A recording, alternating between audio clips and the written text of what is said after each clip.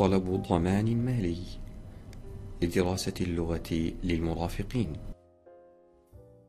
أخي المرافق أختي المرافقة السلام عليكم ورحمة الله وبركاته. للتقدم بطلب ضمان مالي لدراسة اللغة للمرافق يجب أن يكون المبتعث الأساس قد تقدم بطلب فتح ملف للمرافق وتمت الموافقة عليه وحصل المرافق على رقم خاص به في الملحقية. وسجل للحصول على كلمة المرور لصفحته الخاصة على بوابة المبتعثين حيث يتقدم المرافق بطلب الضمان من صفحته وليس من صفحة المبتعث الأساس. لذا سيكون مسار الطلب من حساب المرافق على البوابة ليصل إلى المشرف الدراسي ثم إلى وحدة الضمانات. وهناك عدد من المسوغات لا بد من تحميلها مع الطلب ومن أهمها قبول لغة من معهد موصى به حسب قائمة المعاهد الموصى بها على موقع الملحقية وأن لا يتجاوز ذلك القبول فترة الخمسة عشر أسبوع. ثانيا نموذج التفويض للحصول على المعلومات الدراسية. ستة ألف.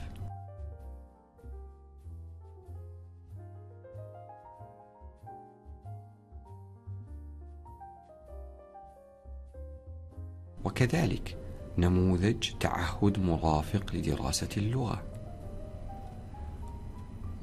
يجب ملء جميع حقول النموذج وتوقيعه.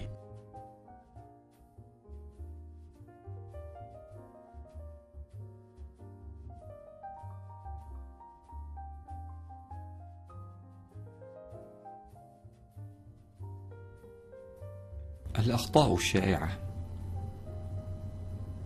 هناك مجموعة من الأخطاء الشائعة التي قد تسبب في تأخير معالجة الطلب ويمكن تجنبها بسهولة ومنها. أولا التأخر في تقديم الطلب. ثانيا التقدم بطلب الضمان المالي من حساب المبتعث الأساس.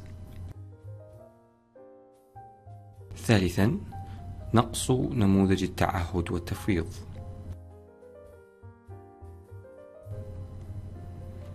رابعا أن يكون القبول المرفق لفترة تزيد عن 15 أسبوع حيث أن الفترة المسموح بها نظاما يجب أن تقسم في عرض القبول إلى فترات لا تزيد عن 15 أسبوع لكل فترة. وختاما نود التذكير بأيقونة الأسئلة المتكررة الموجودة على صفحة الملحقية الرئيسية فعند النقر عليها واختيار الأسئلة المتكررة للشؤون الدراسية قسم شؤون المرافقين والإلحاق.